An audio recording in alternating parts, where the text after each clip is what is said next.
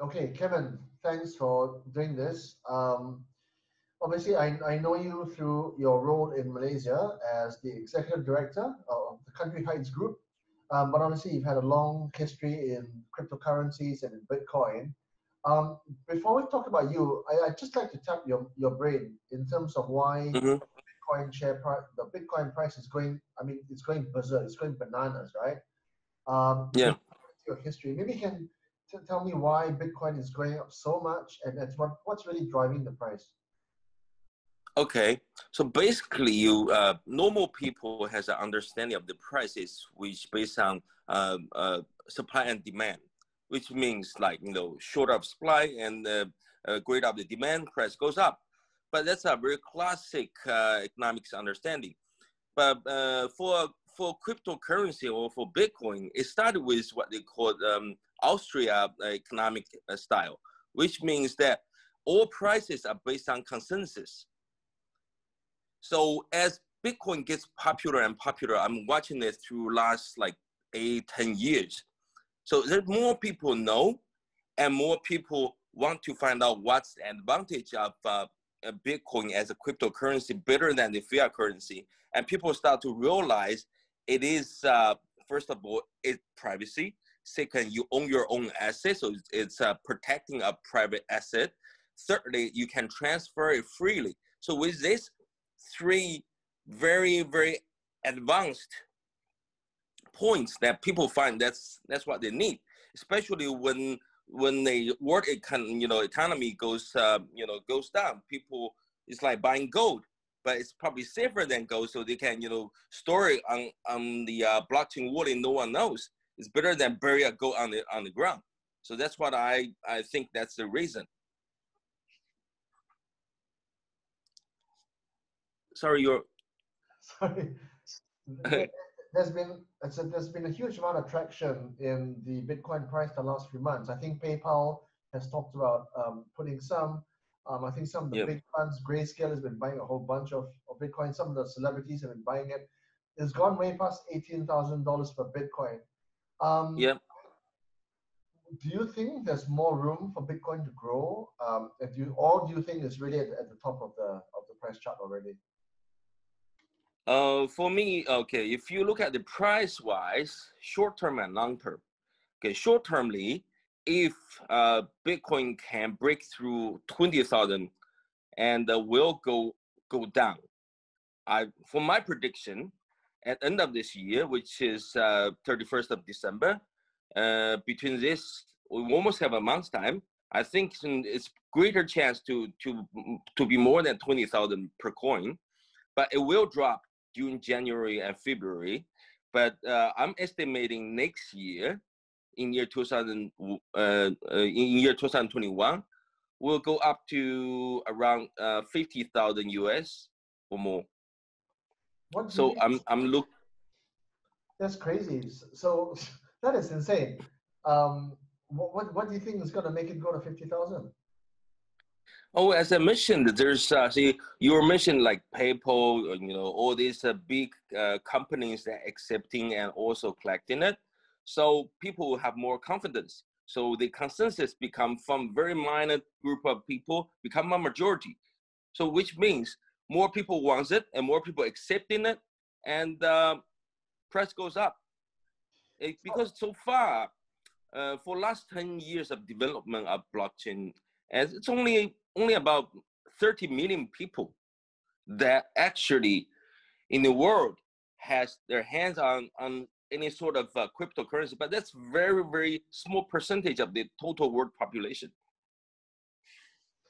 okay I, i've tried to buy bitcoin in the past right um, kevin some mm-hmm. years ago maybe two three years ago and what i found out is that the price of bitcoin is here but what i paid for bitcoin was quite much higher because of the commissions that the platform takes. So there seems to be a lot of friction, and in terms of the market, uh, the price clarity, there isn't a standard platform or exchange to buy Bitcoin on. You buy Bitcoin any number of ways through any number of platforms. Um, you, is that a real issue in terms of um, the price discovery of Bitcoin, in terms of the accessibility of Bitcoin? Uh, actually, no. I think you're talking about a while ago. And these days, uh, the the Bitcoin price is very very clear, and uh, there's many many uh, uh, uh, good exchanges that you can you can you can buy. For example, first of all, we have uh, a website called CMC, which is Coin Market Cap, and that's the website for all the crypto uh, currency prices.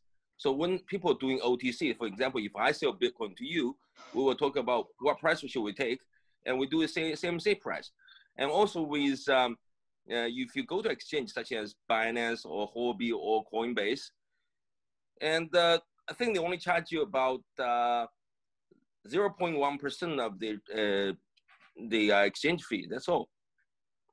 Okay, so that that, that means it was quite some time ago because that clarity wasn't there when I bought it two three years ago. Yeah, when, when um, I first entered, you have to you have to put a notice board on the BBS said, "Oh, I have such how many Bitcoin wants to sell, and then who wants to buy." It takes yeah. like two or three days to to reply. Yeah, yeah. Excuse me. Yeah. Okay, well, what about the other? I mean, because there's a whole bunch of cryptocurrencies, right? I mean, Ethereum is the mm-hmm. second most popular. Then you've also got Bitcoin Cash. You got big. There's there's other derivatives of Bitcoin, right? Bit um, yeah. Bitcoin SV as well. Um, and then you've got things like XRP. XRP has really come up in the last few years.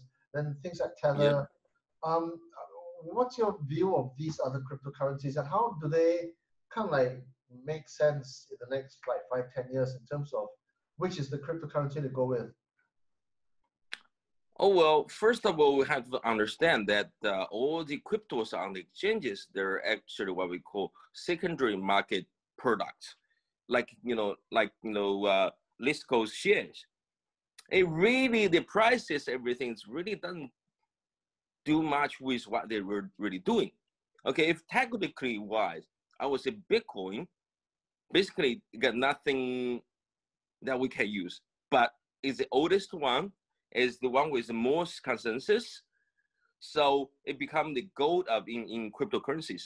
And uh, I personally, I like uh, Ether the most because it really solves problem. It provides smart contract. Before Ether, we cannot issue so many coins. There's always lots of uh, technical barriers. But now with uh, Ethereum uh, smart contract, and you can do, you can issue a coin within five minutes, which means that you can tokenize any asset personally in five minutes. It's like you know TikTok. Before we we want to go on TV, we have to be invited. We have spent lots of time and effort to broadcasting our thoughts. But now with TikTok or blog, you can, everyone can become a television channel, right? So that's freedom. So with uh, cryptocurrency, it's, the same. Before we want to list our company to get public funding into it to help the company to grow, we have to go through a long process, which some some business just die because that non-efficient uh, process. But now with uh, cryptocurrencies, especially what Ether provides, you can list your your own personal company in five minutes. It depends how you promote it. Okay, so Bitcoin is eighteen and a half thousand dollars. Ethereum is five hundred and eighty-one as at this moment that we're talking. Do you think Ethereum's got a way, yeah. way, way to go?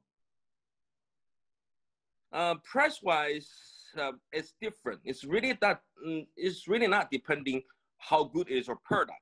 It's really how depend how good is your token economics, because we know um, Bitcoin's recession, like you know, every uh, four years the production amount shrinks, but Ether doesn't have a limit of the uh, coin amount. So which means it's like any other fiat currency, you keep just keep printing it. Okay. So I think that's the uh, main pri- main reason that Ether didn't go up, follow uh, Bitcoin like last time, but the total value of Ether goes up. I see. Okay, well, um, I, have looked at your profile, Kevin, and uh, you you run you run a whole bunch of businesses, but you also do Collinstar, right? Collinstar um, was the most interesting because you do the whole ecosystem of of, of uh, crypto uh, fundraising, right? You do yeah, um, yeah. white paper audits, you do um, you do uh, ICOs, you do strategic advice, you do all kinds of stuff. Um, you even do token sales and book building. So so yeah, tell me about how that business model works. Oh well, as a blockchainer, that we the first mission we have is to like spreading the the, the philosophy of blockchain, and secondly, if we, no one will help us, we have to help ourselves. The re, so all the all the investment, all the other industry that we get involved is to serve the purpose of getting blockchain philosophy spreaded. Okay, so I know that you, because uh, we met in Malaysia, uh, we met through a mutual friend, uh, but now yeah. you're financial um, controller of Country Heights. Country Heights yeah. is a property developer. Um, so yeah. what kind of stuff do you, do you do there? I mean, what to the extent that you can tell me, um, what is what is the grand vision there? Okay, so first of all, we know Country Heights is a very old listing company in Malaysia. It used to be a very innovative company, say, you know, building a nice uh, uh, houses around the, the, the mines and all these uh, mountain building like um, golf course at that. But it seems like, you know, uh, for recent years, we don't hear much things from Country High. But our teacher, Tan Sri Kim Yew, he's a very innovative person. And uh, he thinks that we can use blockchain technology to provide people with better living uh, uh, facilities. Also, provide people with easier access to share the profit that in in the uh, uh, real estate industry. Okay, so how, how will it work? Because because of the global nature of Bitcoin or, or cryptocurrencies, you can sell tokens to the whole world, right? Obviously. Yeah, yeah. Um, you don't have to go through a, a, a regulatory body like the SC uh, pre- presumably. Yeah. Um, yeah. You can raise funds from from the whole world. Uh, yes. Uh, how is it done? I mean, this this sounds amazing, right? But how, how is it done on a practical basis? Okay, so we know the ICO age, like uh, three years ago, like it's a mongrel. You know, lots of uh, project comes out and raise lots of funding and then collapse. So people, are investors are getting more cautious. Now we need, um, you know, a good background company to do it also with a government licensing to endorse it. So that's what Country High is doing.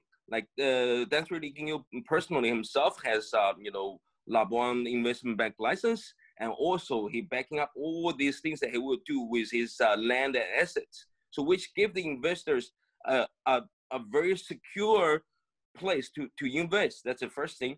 Second thing is with his personal advantage that we can attract lots of fundings from overseas to help uh, Malaysia to develop. You, as we know, you know, Singapore is already doing it, and uh, Hong Kong is not friendly friendly with it, so it's it's go, just going down. We can see the you know examples already. So for people like them, right, would it be best to raise in, Ether, in Ethereum or in Bitcoins, or what, what, how would it work? I think for for uh for like personal investors, it's better just to to invest in uh, uh what you call stable coin.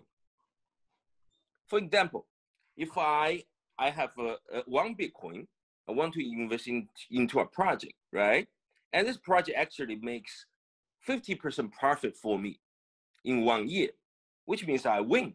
But however, they return me 1.5 Bitcoin.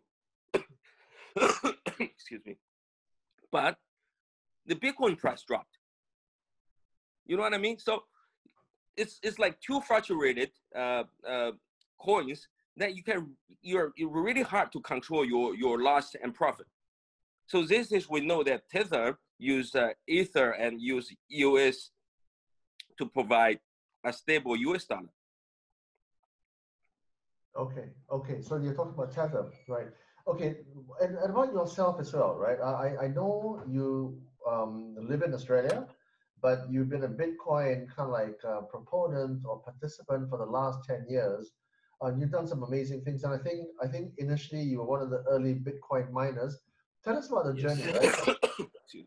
yeah. Mm. Kevin, tell us, tell me about you. Tell me about you, man. Um, how did you get started and, and how did you make your money? Oh, well, um, I, I'm, I started doing business when I was very young like uh, when I studied in the U.S., I start my business and you know doing doing all commercial printings for for the uh, coffee shops and all the shops on the street, and I also teaching in the school.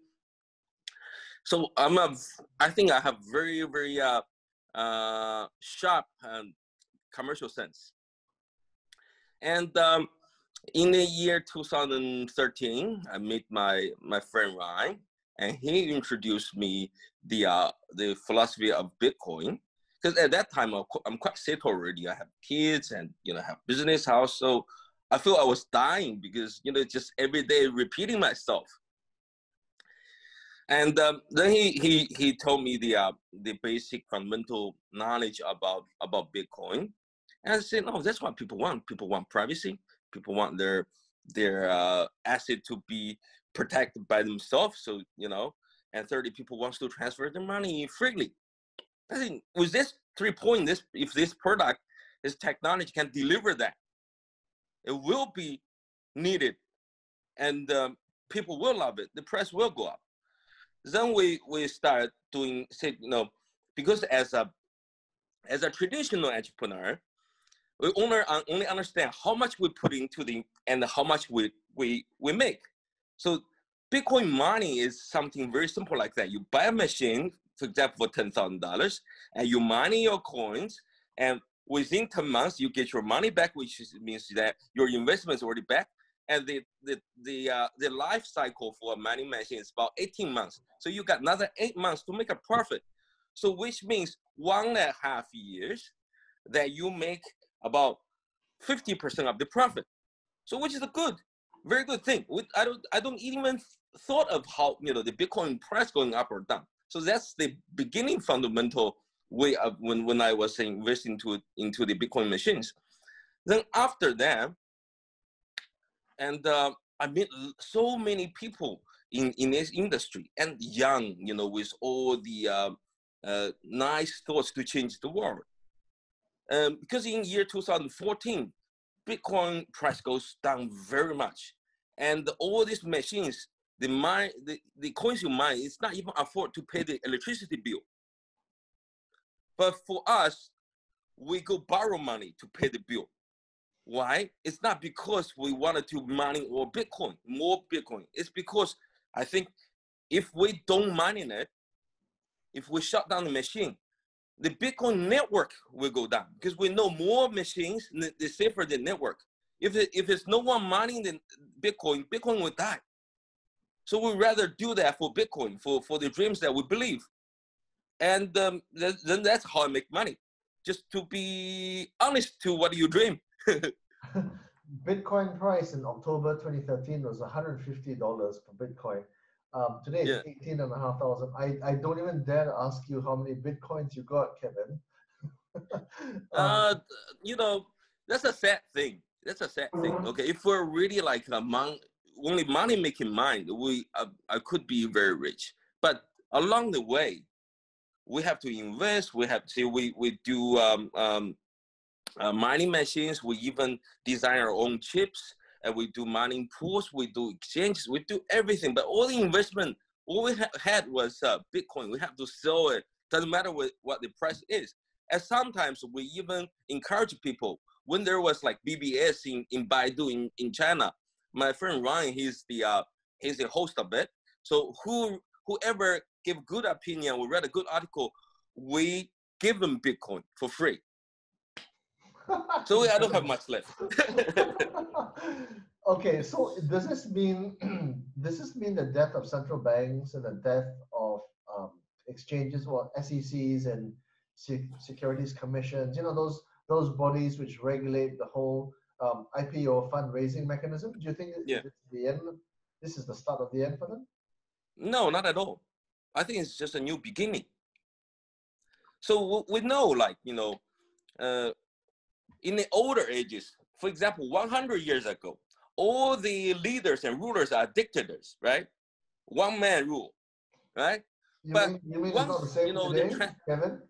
You mean it's uh, No, I think today's, you know, we still see some democracies. That, that, that's that's not too bad. At least it's improved. You know, it's not like you know before the, the emperor wants to kill someone, just kill someone. At least you know they have to use some alibis, right? but so what I think is the technology is pushing the to the, the the whole human management system. So we call government a human management system. See, if we keep pushing blockchain te- technology, if all the voting, everything's using blockchain to do it, right? And all the uh, uh, funds transfer, everything, we don't have a central hub like like a bank, like current bank, and people can transfer money peer to peer, right? Because eventually people will use it, and the the, uh, the governments they will start to compromise, so they will give up what they took for, from people. What can you know, there's always a lot of freedom that taken by the rulers, by by the you know high and high, hierarchy people. We see it making progress from like 2,000 years ago until now. That all the rulers are giving back the rights to to ordinary people. That we believe this technology will not just will not kill the banks. We still need banks, but they were running in a more fair way for general public. Public. Okay, okay. I know you've got to go. So one last question: um, Do you think the ICOs and and cryptocurrencies are the fundraising mechanism of the future, and that anybody can raise money at any time from from cryptocurrencies? I think so. I think so. So you can't stop people borrowing money from their friends and relatives, right? So that's our fund fundraising. So as long as you can persuade people that listens to you and believe in you that you can make money from or you can pay it back. I mean, it's it's just so personal. Why government gets so nervous about it? Yeah, it's a good point, man, Kevin. Hey, thank you for your time, yeah. man. I'll see you back in Malaysia. Take care. Okay, okay. Thank you, John. See yeah, have a nice day. You too. Take care. Thanks.